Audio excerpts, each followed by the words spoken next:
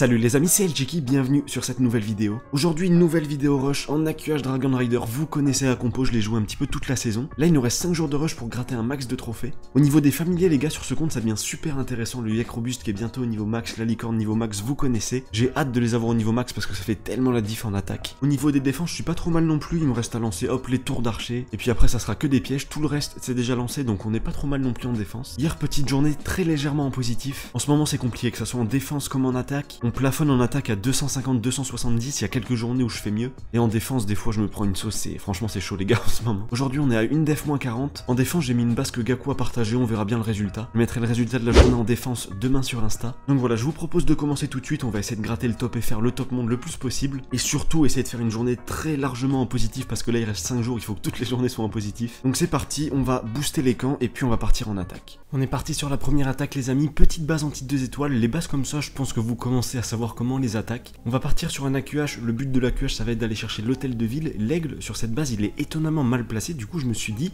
il y a un monde clairement où l'aigle ennemi on va le chercher avec notre propre championne, ça serait un petit move super intéressant parce que le truc sur les bases anti 2 étoiles comme ça, quand ton AQH il arrive au centre il y a déjà énormément de dégâts, si en plus t'as pas tué l'aigle et qu'il commence à envoyer des rafales sur ta reine, ça devient très compliqué. Sur la base là en plus on a mis un petit roi, je sais pas s'il était super utile, il a pris pas mal de bâtiments il a sorti le CDC. Après, il a pas pris de bâtiment défensif ultra important. La reine, elle a commencé à bien s'avancer sur le village. Au niveau des dégâts, ça reste raisonnable parce que tous les archiques étaient assez espacés. Donc au niveau des dégâts, c'était assez léger. Petite championne vers 11h, tu vois, qui va arriver, aller prendre l'aigle. Ça va sauver la reine. En vrai, ça va sauver la reine parce qu'elle entre pile au centre du village. Elle commence à prendre pas mal de dégâts, les rafales d'aigle, les coups de catapulte, les coups d'hôtel de ville, ça fait très très mal. Donc la championne, une fois qu'elle aura pris l'aigle, ça va être vraiment cool. Petite partie Dragon Rider qui vient un petit peu à côté de la QH. Là, elle est vraiment bien lancée la partie Dragon Rider parce que lancer comme ça, normalement, elle ira pas du tout sur le poison de l'hôtel de ville et ça, ça va faire la différence. Des fois, je fais des petites dingueries et en lançant la partie chevaucheur de dragon trop près de la QH, ça se prend le poison de l'hôtel de ville et là, c'est catastrophique. Donc, cette première attaque de la vidéo, les amis, ça va plutôt bien passer. Notre AQH est resté en vie au centre du village, donc forcément, ça a été un carton. Il nous reste pas mal de troupes en vie, même au niveau du time, on est assez large, donc petite attaque qui nous met en confiance. On va essayer d'aller chercher une grosse journée parce que, comme je vous l'ai dit au début de la vidéo, il nous reste 5 jours de rush. Donc, en tout, c'est qu'il nous reste 6 journées en légende à faire. Il faut que les 6 journées elles soient en positif, qu'on gratte un maximum le top monde. L'objectif, on l'avait dit début de saison, c'était de faire un top 1000 sur les deux comptes. Et si le compte principal est chaud, je sais pas moi, un top 500, top 400, pourquoi pas même un top 300, on verra bien. Du coup, premier perf de la vidéo, ça fait plaisir. Prochaine attaque, on est parti, on tombe sur V. Alors V avec des symboles chinois un petit peu des deux côtés, c'est un gros rusher, c'est un gros rusher qu'on croise assez souvent dès qu'on est un petit peu haut en trophée. C'est pas un aussi gros rusher que l'alternate attaque qu'on a pu croiser, Gaku et tout. Niveau rush cette saison, les amis, on était servis en vidéo, on a croisé du bon ça fait super plaisir les vidéos rush de cette saison. Après, la saison est pas encore finie et j'espère aussi que la saison prochaine, on croisera d'aussi beaux joueurs pour vous faire des bonnes vidéos comme ça. C'est des vidéos qui ont bien plu. En même temps, même moi, c'était un kiff de vous montrer ça, tomber sur des Gaku, tomber sur Boom et tout. Incroyable. Du coup, là, on est encore sur un petit anti 2 étoiles. En vrai, c'est la méta en ce moment. Il n'y a pas grand chose d'autre à part des anti 2 étoiles. On a de temps en temps d'autres bases. Tu sais, les bases avec 9 compartiments, les bases avec l'hôtel de ville dans un coin. Il y a ça qui arrive de temps en temps. Mais la plupart du temps, c'est des bases anti 2 étoiles. Et celle-ci, les amis, j'étais trop content de tomber dessus parce que tous les archiques sont ultra espacés. Du coup, au niveau de la QH, il y a moyen de faire une dinguerie. Et là, l'objectif de la QH, je vous le dis clairement, c'est d'aller chercher les deux catapultes, l'hôtel de ville au centre. Si la QH y passe, ça va être monstrueux. L'attaque, elle va être monstrueuse si la QH passe. Comme d'habitude aussi sur les anti 2 étoiles, on a le roi d'un côté, la championne de l'autre. Ils sont pas ultra value, mais le truc c'est que si derrière ça permet de faire un AQH de folie qui va au centre et qui prend tout ce qui est au centre, tu peux te permettre d'avoir une championne et un roi qui ont pas pris des, grosses dingueries. Là pour le coup, le funnel est vraiment de qualité, la reine y a pas trop de soucis, elle va bien rentrer au centre. On va pousser avec encore une petite open au niveau de la T2 multi et elle aura accès à absolument toute la base. Du coup, une fois qu'elle se sera un petit peu avancée, on va pouvoir réfléchir à lancer la partie Dragon Rider. Partie Dragon Rider, quand tu la lances, le but en général c'est d'essayer d'esquiver un petit peu les souffleurs. Là pour le coup, je l'ai envoyé en bas, tu voyais un souffleur qui pointe vers l'aigle. Donc si j'avais envoyé la partie Dragon Rider vers 2-3 heures, ce souffleur là m'aurait peut-être mis en PLS. Et s'il n'y a pas le souffleur, je pense que je l'aurais envoyé côté reine pour mettre une Kappa Warden assez tôt et mettre les petites chasseuses que ça me prenne direct la reine sous Kappa Warden. Je trouve que c'est une compo super intéressante à jouer. Vraiment, j'ai bien aimé cette saison avec en AQH Dragon Rider. Il n'y a pas à dire, toutes les compositions AQH, c'est mes compos préférées. C'est les compositions avec lesquelles je suis le plus à l'aise, avec lesquelles j'ai les meilleures idées quand je tombe sur des nouvelles bases. Là, cette saison, c'était vraiment compliqué, surtout les derniers jours. Fin de semaine dernière, on a croisé des bases qui étaient super dures. En attaque, tu vois, sur les bases dans le top 200 monde, je faisais 250, 260 en moyenne. Il y a des journées où je me chauffais, enfin où, j'avais peut-être un petit peu de chance, je sais pas, où j'arrivais à taper un petit peu mieux. Mais le truc c'est qu'en défense, je prenais toujours beaucoup plus. Donc des fois, j'arrivais avec un petit 270 à faire une journée un petit peu en positif. Et des fois avec mon 260, bam, je me faisais exploser, je perdais 20-30 trophées. Et c'était vraiment pas facile. Du coup, le top 200 monde, il nous a un petit peu abandonné. Là, il nous reste 5 jours de rush, je sais pas si on arrive à retourner dans le top 200 monde. Mais en vrai, c'est pas évident. Et quand je vois des joueurs comme YoYo23, ils partagent les screens sur Twitter, les défenses qu'il prend, c'est incroyable. C'est incroyable de prendre si peu quand t'es top 1 mondial. De notre côté, l'attaque elle passe vraiment ultra large, ça fait super plaisir. Les gars, on est en train de se prendre une petite défense en live, je vais vous la montrer. Du coup, il a commencé avec un gros gros blizzard hôtel de ville, un blizzard assez énervé. Ça part sur une petite dragon, une petite partie dragon côté aigle, je vois mal comment je vais défendre. Je vais me faire exploser, il reste à peine un souffleur, les 4 archis qui sont en position sol. Pour défendre une compo dragon comme ça, ça risque, ça risque d'être compliqué. D'ailleurs, je pense que bientôt je vais essayer de fabriquer une petite base légende. Je vais tenter de def une compo, tu vois, une compo comme ça, dragon, chevaucheur de dragon, euh, hydrag, tout ce que tu veux.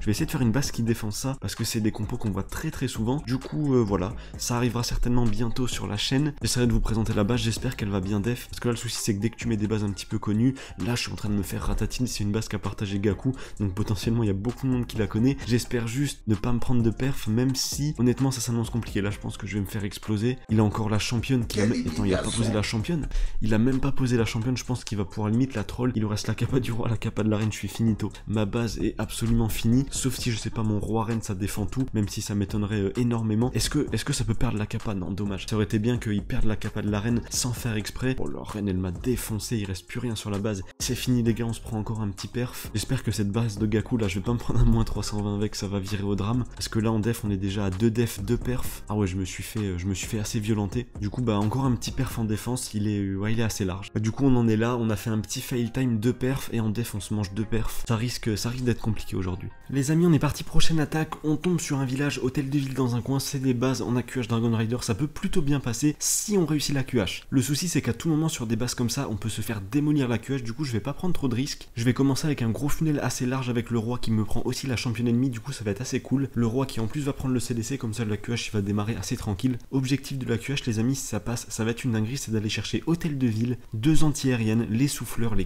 4 Arkix et l'aigle juste derrière. Si la QH il prend tout ça, honnêtement entre nous, la base elle est finie, elle va se faire écrabouiller. J'avais vraiment peur que tu vois avec les souffleurs je me prenne pas mal de dégâts, mais le CDC il m'a pas beaucoup dérangé sur cette attaque, du coup ça se passe assez bien. Au niveau de la partie chevaucheur de dragon juste après, ce qui va être bien c'est qu'il reste plus que deux anti-aériennes sur la base. On aura pris tous les Arkings, donc deux anti-aériennes, deux catapultes, ça va être très léger pour défendre 5 Dragon Rider et un broyeur. On a mis notre championne pour venir un petit peu soutenir la reine, je sais pas si c'était forcément utile, mais en tout cas voilà, elle se prend un petit peu de dégâts et la reine elle continue d'avancer. La QH sur cette attaque les gars c'est une dinguerie. Il reste quasiment plus rien sur la base, on va pouvoir lancer la partie Dragon Rider très sereinement et en face il y a très peu de défense. Nous il va falloir très bien placer les gargouilles parce que de 2 à 4 heures sur ce village, il y a beaucoup de bâtiments non défensifs, ça serait bête de fail time sur une attaque comme ça qui est aussi large. Cette attaque là elle fait bien plaisir, la partie Dragon Rider ça va être très musclé, au centre t'as quoi les deux catapultes, la petite multi, ça va être très léger pour aller chercher la défense. Là avec cette composition en ce moment en rush je me sens vraiment bien, c'est-à-dire que la plupart des vases, je commence à me dire ok il y a des super stratégies, je vois vraiment des bonnes stratégies. Après ce qui se passe quand vraiment je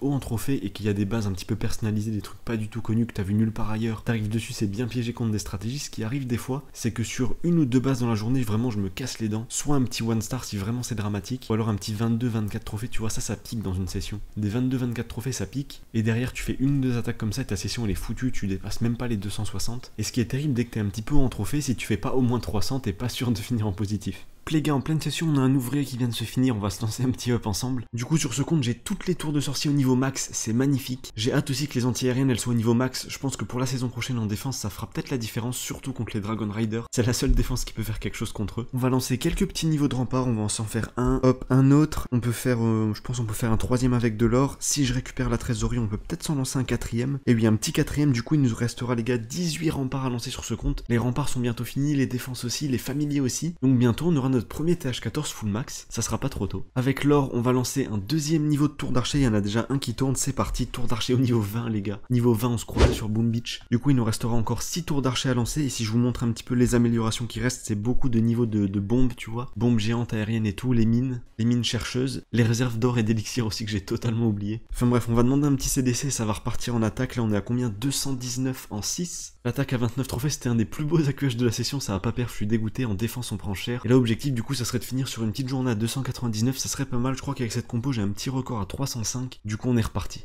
On enchaîne, et oui les gars, on a une petite session à faire, nous on a un petit classement mondial à rush, on tombe sur la base que Gaku a partagé récemment sur YouTube, sur Twitter, sur je sais pas quoi, il l'a partagé partout cette base. Il l'avait utilisée en ESL et honnêtement elle fait un petit peu peur. Du coup je me suis dit petite stratégie qui peut être assez intéressante, faire rentrer l'arène par 4 heures, aller chercher la catapulte qui gêne un petit peu avec ma propre championne. Le souci, et on commence à le voir tout de suite, c'est le placement des guérisseuses les gars, quand la reine elle va s'avancer, les multi au centre ça va être un massacre. J'y ai pas pensé sur le coup, au niveau du placement des guérisseuses, je pensais pas que tout se goupillerait comme ça. Et là je commence à me dire que ok ça va va être chaud. Dès que la reine elle s'avance, ça va être un petit peu fini. Du coup, un petit peu dans l'urgence, j'avais mis le roi, tu vois, histoire de faire un petit peu de funnel et envoyer la partie chevaucheur de dragon sur la gauche de la reine. Comme j'étais très très peu serein sur cette attaque, après avoir lancé la partie Dragon Rider, ce que je vais faire, c'est que je vais garder le broyeur ou le dirigeable, enfin bref, je vais garder l'engin de siège pour assurer l'hôtel de ville. La toute première idée que j'avais eu en tombant sur la base, mais je me suis dit, c'est Gaku qui a fabriqué la base, je peux pas tenter ça. Je voulais envoyer la QH face aux 4 Archix, mais tu vois, pile à 6 heures. Et en vrai, je me suis dit, si je fais ça sur une base qu'un mec qui gère peut-être le mieux au monde la QH a fabriqué,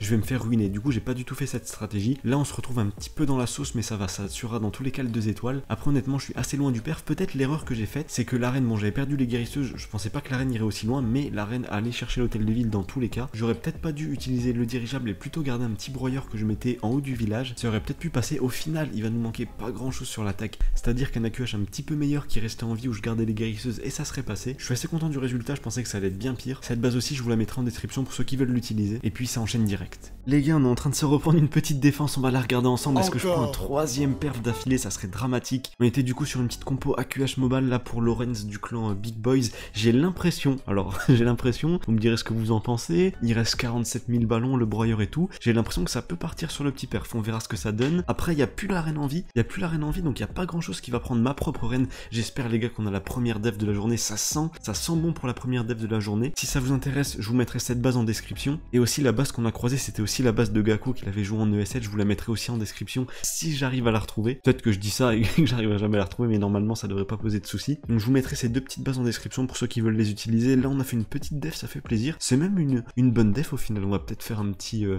on va quand même se rendre 90%, ça fait beaucoup. Mais du coup 90%, tu vois, c'est 30 trophées, 29-30 trophées, alors qu'un perf c'est 40 trophées. sur une attaque 10 trophées, c'est énorme. Sachant que par exemple sur la journée d'hier, tu vois, on était à seulement positif de 12 trophées. Ça peut vraiment faire la diff. Du coup un petit moins 29, ça fait plaisir. Et sur le journal, si on regarde en 7 attaques, nous on est à 248, il nous reste une petite attaque. Et en défense, moins 109 en 3, ça pique un petit peu, mais si derrière je prends pas trop de perf, ça, ça peut être en positif. On va partir faire notre dernière attaque. Dernière attaque de la vidéo les amis, on joue pour le 288, ça rigole pas. Vu ce qu'on prend en défense, je pense que faire un petit 288, ça serait pas du luxe. Comme je vous ai dit, je vous montrerai le résultat sur Instagram. En général, je mets quasiment toutes mes journées sur Instagram. Ce qui est bien avec cette dernière base, c'est une base que j'ai déjà attaquée plusieurs fois et j'ai une petite stratégie qui peut être pas trop mal. Le petit souci, c'est que là, le roi champion, ça m'a fait une petite dinguerie. Le roi qui est dans le mauvais compartiment, il y a de grandes chances que j'arrive pas à tomber la T2 multi et que ça va mettre en PLS mes juste après. Là, en général, la solution, tu vois, avec la multi qui est pas tombée, ça va être d'essayer d'envoyer quelques ballons dessus. Vraiment, dans le pire des cas, t'envoies un chevaucheur de dragon. On va déjà voir ce que ça donne avec trois ballons et un petit sort de gel pour tomber la multi. Sinon, adieu les guérisseuses et on n'en parle plus. Là, c'est vraiment c'est chaud. C'est vraiment très très chaud. On réussit à tomber la multi à pas grand chose et les guérisseuses, je crois que j'ai dû en perdre quelques-unes dans le tas. Du coup, c'est un petit peu compliqué. On va envoyer la partie chevaucheur de dragon assez vite côté aigle. Côté aigle, T2 multi et tout, ça va faire le taf. Il faut vraiment sur cette attaque que la reine reste en vie. Il faut qu'elle reste en vie si possible pour aller chercher la reine ennemie, l'entière, le compartiment multi, enfin bref, tout ce compartiment là s'il tombe ça serait vraiment cool. Là les gars si on perf on va chercher le 288, si on perf pas on sera en dessous de 280, là ça peut être vraiment très compliqué. En général en def ils ont le, moins de 280 très très facile en ce moment, mais du coup pour cette attaque ça va plutôt bien se passer. Ce qui était cool dans la journée de rush d'aujourd'hui c'est que toutes les bases que j'ai rencontrées, il n'y a pas eu de grosses surprises, il n'y a aucune base où je me suis dit mais purée je vais me faire défoncer, comment est-ce que j'attaque ça? Du coup pas de mauvaise surprise. Et au final du coup on a fait une très bonne session. Du coup les amis on a fini notre jeune session d'attaque, je vais vous montrer le résultat, normalement vous vous en doutez un petit peu, on a fini à 288, ça fait plaisir, c'est une belle journée. J'espère qu'en défense, voilà, ça suivra, qu'on fera au moins une journée positive de 20 ou 30 trophées. Fin de semaine dernière, c'était assez compliqué en défense, hein. on a eu du mal à, sortir la tête de l'eau, tu vois. Semaine dernière, j'avais fait pas mal de journées en négatif, tu vois, moins 20, moins 30, et quand j'étais en positif, en faisant genre 280, j'étais pas en positif de beaucoup. bref, j'espère que ça va aller aujourd'hui, je mettrai le résultat demain sur Instagram. Classement monde, on est sur un petit 278, ça fait plaisir, et classement FR, les gars, on est sur un petit top 4. Donc voilà, on n'est pas trop mal. On va essayer de tenir le cap, voilà, les derniers jours de rush. Et dans tous les cas, moi, mois d'août, ça va bombarder pareil, va essayer de faire un bon rush aussi au mois d'août. Mois d'août, c'est pas impossible que je garde la même compo. À la limite, j'hésite entre AQH Mobile et AQH Dragon Rider. AQH Mobile, c'est une compo que je vais tester dans une prochaine vidéo. Donc voilà, le planning de vidéo cette semaine, il est encore bien chargé. Il y a tellement de trucs que je veux sortir, ça n'a aucun sens. Enfin bref, j'espère que le contenu vous plaît toujours autant. N'hésitez pas à me donner votre avis en commentaire. Je vais vous quitter là-dessus. J'espère que la vidéo vous aura plu. Si c'est le cas, n'hésitez pas à mettre un jeune pouce bleu. Et nous, on se retrouve très bientôt pour une prochaine vidéo. Allez, ciao